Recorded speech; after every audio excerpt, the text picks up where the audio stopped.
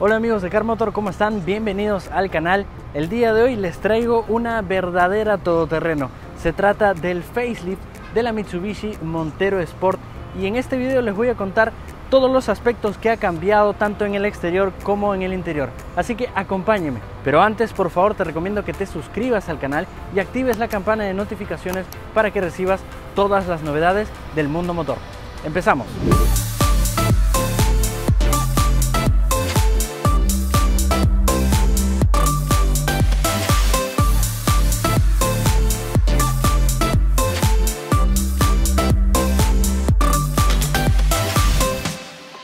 Esta es la tercera generación de Montero Sport, que se presentó en 2016 y ahora le toca una actualización de mitad de vida, en la cual adopta una imagen más imponente, afilada y elegante. El frontal es prácticamente el mismo del Mitsubishi L200. Las líneas y formas le dan un aspecto mucho más robusto y como ya es costumbre, hereda unos faros que se separan de los principales y que sirven de neblineros e intermitentes. Por el lateral cuenta con un nuevo diseño de aros y las pisaderas se elevaron un poco para mejorar el ángulo ventral. La retaguardia por su parte recibe un nuevo paragolpes y los faros que se extendían demasiado y ya resultaban bastante raros se acortaron ligeramente y que a nuestro parecer ahora sí están mejor logrados. Respecto a las dimensiones se mantiene casi idéntico y solo gana algunos milímetros a lo largo por la nueva forma del paragolpes.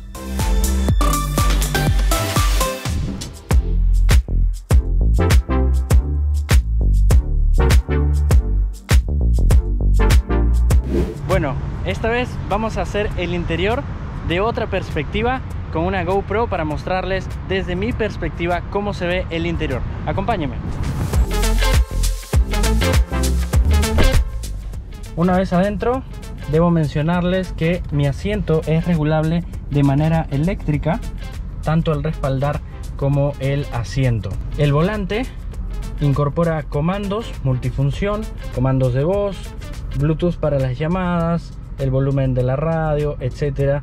Y a la derecha tenemos los controles para eh, la cámara de 360 grados, las asistencias a la conducción como el control crucero adaptativo. Y en el centro del cuadro de instrumentos tenemos una pantalla enorme que nos proyecta toda la información necesaria sobre el vehículo, como por ejemplo, tenemos el velocímetro en esta ocasión aquí grande y a la derecha el tacómetro, pero tal vez nosotros necesitamos ver el tacómetro principal, entonces cambiamos la información, vemos las revoluciones, o en todo caso lo dejamos tal como está. Aquí en la parte inferior, mediante este botón vamos cambiando de información, vemos el rendimiento de combustible, velocidad promedio, qué tan eficiente estamos siendo, el control de tracción en este momento, el odómetro y por supuesto los kilómetros que nos quedan por recorrer. Aquí abajo está activada la alerta de punto ciego que tenemos en cada uno de los espejos laterales. Además del indicador de eh, la temperatura, tanque de combustible y el tipo de tracción eh, que estamos usando en estos instantes. A la izquierda del piloto tenemos el botón de encendido, es un lugar inusual, muy parecido a lo de Porsche. Aquí tenemos los controles para los espejos eléctricos, el sistema de alerta de colisión frontal, también la alerta de tráfico trasero, control de tracción, estabilidad. Por cierto, la calidad de materiales en general la parte superior son plásticos duros, pero se nota que está muy bien terminado, bien ensamblado y a partir de aquí ya tenemos revestimiento de cuero. Es bastante blando, aquí también en el apoyabrazos, pero también tenemos estas inserciones en piano black que recorren toda la parte central del tablero y la consola central. Ahora, una de las grandes mejoras es que tenemos este revestimiento de cuero en toda la consola central en donde podemos apoyar la rodilla. Tenemos estos nuevos acabados, el pomo de la palanca también forrado en cuero, por aquí todos estos detalles. Toda esta parte piano black tenemos eh, dos posavasos en donde he colocado mi smartphone y mi tapabocas. Eh, como se darán cuenta, este material es un material bastante delicado, se llena muy rápido de polvo, todos los días hay que estar limpiándolo y también es un material delicado porque se raya fácilmente. Tenemos el control de descenso y la perilla para seleccionar el modo de tracción que necesitamos de acuerdo a las condiciones de manejo, botón de auto hold, freno de mano electrónico, aquí encontramos dos puertos USB, una entrada HDMI, una toma de corriente de 12 voltios, una pequeña bandeja para colocar nuestro smartphone, climatizador bisona independiente y estas perillas para poder controlarlo. Eh, además de ello tenemos esta pantalla de 8 pulgadas que en general tiene buena nitidez. No es la más nítida de toda la categoría, pero tiene una interfaz bastante intuitiva. Podemos seleccionar el modo de eh, entretenimiento si es que queremos conectar nuestro smartphone, USB. Es compatible con Android Auto, Apple CarPlay, información del vehículo, ajustes y también desde aquí accionamos la cámara de 360 grados que en general considero que le falta un poquito de brillo, al menos he intentado eh, incrementar el brillo de la pantalla, pero no se incrementa el brillo de esta cámara de 360 grados que se proyecta aquí. Le falta un poquito más de visibilidad, al menos de noche se ve perfecto, pero de día cuando tenemos mucho sol, el sol cae y pues no permite ver muy bien o con mucha claridad estos detalles. Pero genial porque aquí se nos proyecta el vehículo en 360 grados y podemos ver todos los obstáculos que tenemos a nuestro alrededor. Muy útil ese detalle. Eh, otro aspecto que me olvidaba mencionar es que tenemos paletas detrás del volante para poder hacer los cambios de manera secuencial. Debajo de esta consola central tenemos algunos pequeños compartimentos para que podamos guardar otros objetos tanto para piloto y copiloto. Aquí tenemos un apoyabrazo central que está forrado en cuero. Puedo guardar mi billetera, en esta bandeja y un compartimento inferior para guardar más objetos eso está bastante bueno y en cuanto a la guantera eh, no es tan amplia pero suficiente para colocar eh, documentos cámaras tal vez algunas bebidas y tenemos un sunroof, pero no, no tenemos techo panorámico. Eso es bastante curioso, porque en vehículos de esta categoría ya empezamos a contar con eh, techos panorámicos. Sin embargo, eso le quita un poco de rigidez estructural. Ahora vayamos a ver las plazas traseras. El acceso a la segunda fila de asientos mediante la pisadera hace que sea mucho más cómodo debido a la gran altura sobre el suelo Además tenemos esta agarradera que es muy útil. Y el espacio es enorme. Tenemos una gran distancia entre ejes, lo que nos permite poder estirarnos aquí con mucha facilidad. Y tenemos portarrevistas con un lugar específico para colocar otros objetos. La calidad de materiales es la misma, plásticos duros, revestimiento de cuero por aquí, piano black, espacio para colocar monedas, eh, portabotellas aquí y en la parte central detrás del apoyabrazos tenemos esta toma de corriente convencional casera y doble toma USB para que los ocupantes aquí podamos cargar nuestro smartphone. Eso me parece súper bueno. Tenemos además de ello las salidas de aire acondicionado en cada lado superior y lo podemos controlar desde aquí. Esto es bastante genial. Podemos bajar la intensidad o de lo contrario si deseamos lo podemos apagar por completo agarraderas. Y esto de aquí por cierto funciona incluso para la tercera fila de asientos. Además de ello contamos con un apoyabrazos central con dos posavasos que se despliegan así. Tenemos cinturones de tres puntos 3 y anclajes isofix 3 apoyacabezas. Y ahora me voy a subir a la tercera fila de asientos para que vean cómo quepo ahí. Para acceder a la tercera fila debemos jalar este gancho que tenemos aquí e inmediatamente nos facilita el acceso de este modo. Voy a empujar la banqueta. El acceso es relativamente fácil. Yo me puedo acomodar aquí solo que el asiento va muy inclinado hacia abajo y tengo que ir básicamente en cunclillas. Vean mi pierna está en un ángulo muy inclinado lo que obviamente le resta un poquito de confort eh, debería haber un poquito más de espacio hacia abajo para poder acomodar mis piernas y no, y no ir de esta manera. Sin embargo tengo muy buen espacio respecto al asiento de la segunda fila. Entonces Sí, aquí vamos a poder acomodarnos adultos de aproximadamente 1,75 m más o menos. Y tenemos algunas amenidades como estas agarraderas, salidas de aire acondicionado, por acá también, posavasos y una toma de corriente de 12 voltios para que podamos cargar nuestro smartphone. Así que ese es el interior y vayamos a ver la capacidad del maletero.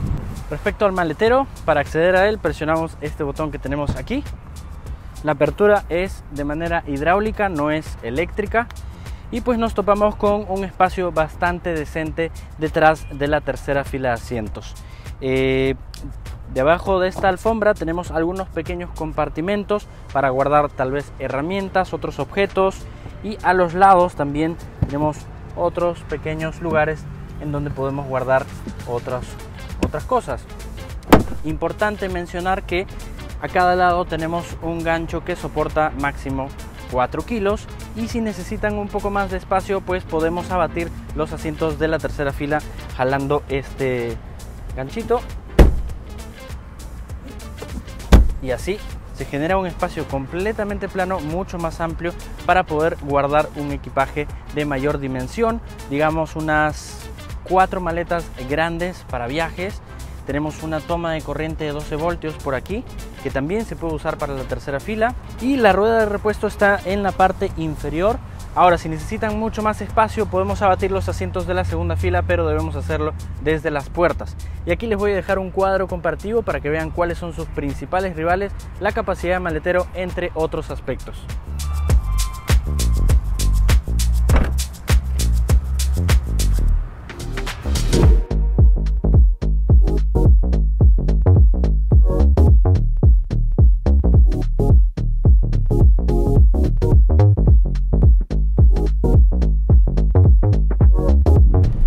El manejo de esta Mitsubishi Montero Sport? Bueno, para empezar, cuenta con dos motorizaciones. En esta ocasión estoy manejando el motor a gasolina de 3 litros de 6 cilindros que genera 216 caballos de fuerza y casi 290 Nm de torque y va asociado en esta ocasión a una transmisión automática de 8 velocidades que en general tiene un buen desempeño, una buena armonía con el motor. El tema es que si le pisamos el acelerador en este momento, pues va a tomar un poquito de tiempo y ya a partir de las 3500 revoluciones vamos a sentir un empuje mucho más contundente, pero en la parte baja de las revoluciones es un poquito perezoso, digamos, ¿no? Hay que pisarle fuerte, esperar a que llegue a las 3000 revoluciones para que ahí recién podamos sentir la aceleración. De lo contrario, si ustedes desean una conducción un poquito más contundente, pueden poner la caja en el modo secuencial y hacer los cambios con las paletas que tenemos detrás del volante. Así la aceleración se torna un poquito más contundente. Y también al ser un vehículo muy grande, que pesa alrededor de 2 toneladas, pues ya se sienten bastante las inercias. Al momento de acelerar se levanta la nariz, al frenar también se hunde y al momento de entrar a las curvas también el body roll es muy pronunciado. Así que al menos en ese aspecto no soy una persona que me encanten eh, las inercias de los vehículos todoterreno.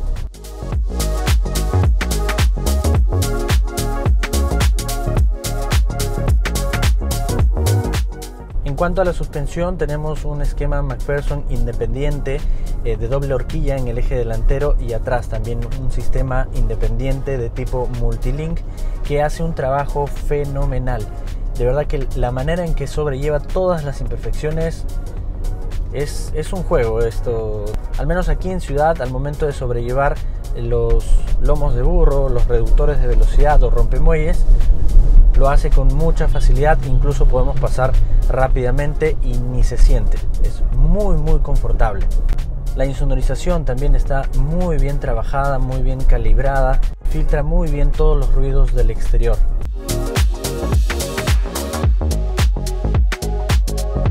Ahora, en cuanto al equipamiento de seguridad, pues cuenta con frenos ABS, distribución electrónica de frenado, un control de tracción, estabilidad, 7 airbags incluyendo el airbag de rodilla. Y además de ello aquí en esta versión contamos con un control crucero adaptativo, un sistema de arranque en pendiente, un control de descenso y una alerta de colisión frontal que es muy práctico al momento de eh, estar en el tráfico, nos alerta ante situaciones de peligro. Y por momentos llega a frenar del todo siempre y cuando estemos utilizando el control crucero adaptativo. Además de ello contamos con una alerta de punto ciego en cada uno de los espejos laterales y alerta de tráfico cruzado al momento de retroceder.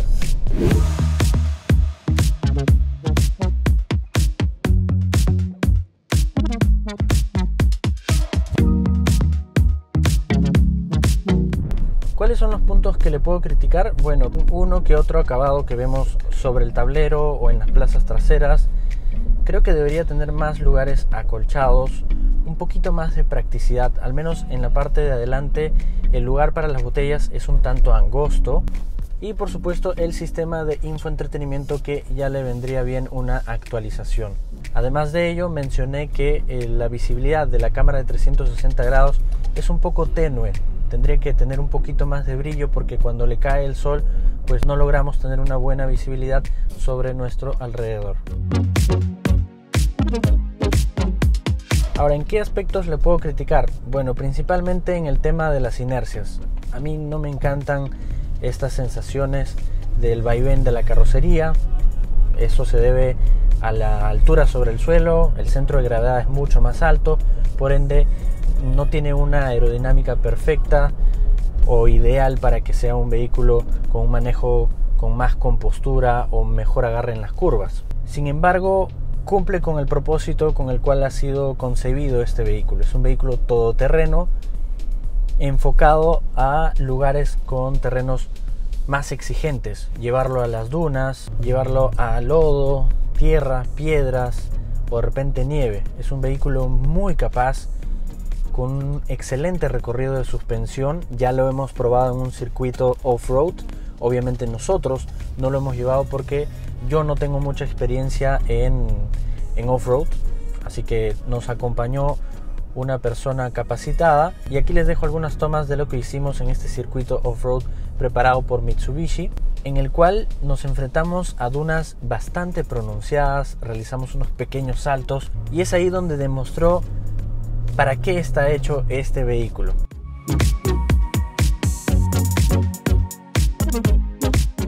¿Y cuáles son sus principales rivales? Bueno, no podemos olvidar a la Toyota Fortuner, que tiene casi las mismas dimensiones, las mismas capacidades y ambos modelos están basados en una pickup.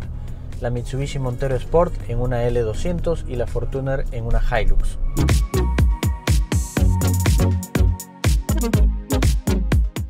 ¿Cuál es el precio de la Montero Sport? Bueno, parte aproximadamente desde los 39 mil dólares y va hasta la versión turbodiesel más equipada que ronda los 52 mil dólares.